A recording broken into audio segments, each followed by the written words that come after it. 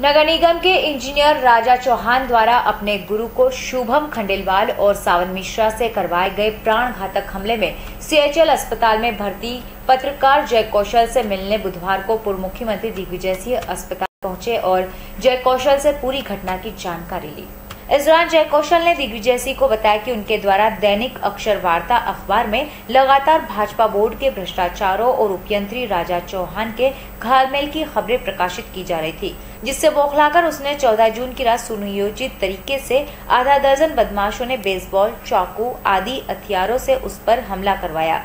जय कौशल ने बताया कि 15 दिन बाद भी सभी आरोपी पुलिस गिरफ्त से बाहर है और उक्त आरोपियों ने ही निगमायुक्त प्रतिभा पॉल को ज्वाइनिंग के समय महाकाल के दर्शन कराए थे।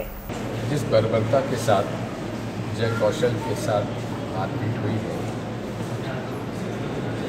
दिल उज्जैन जैसे शहर में, महाकाल की नगरी में, जिस हैवानियत के साथ यहाँ के कुछ सरकार की शह पर हत्या का प्रयास किया है, हम इसकी घोर निंदा करते हैं। जय कौशल जनता की लड़ाई लड़ रहा है भ्रष्टाचार उगा उजागर कर रहा है भ्रष्टाचार उजागर करने पर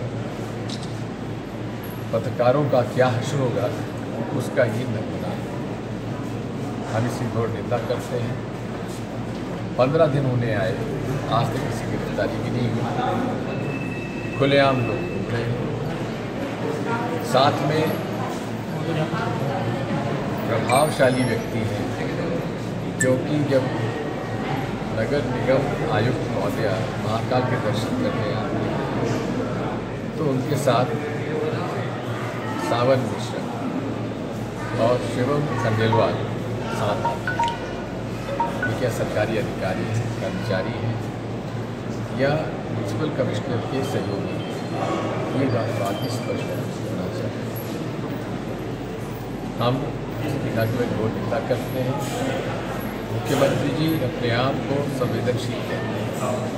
अगर संवेदनशील हैं तो पंद्रह दिन तक अभी तक गिरफ्तारी होनी संवेदनशील हैं तो अभी तक इस इस बहादुर पत्रकार जय कौशल को आपकी कभी कोई मदद को नहीं मांग करता हूँ इसका मेडिकल खर्चा सरकार को वहन करना चाहिए। और जब तक ये काम करने लायक नहीं हो जाते हैं, तब तक उनके परिवार का पालन पोषण के लिए कम से कम पच्चीस हज़ार रुपये महीना उनको देना चाहिए।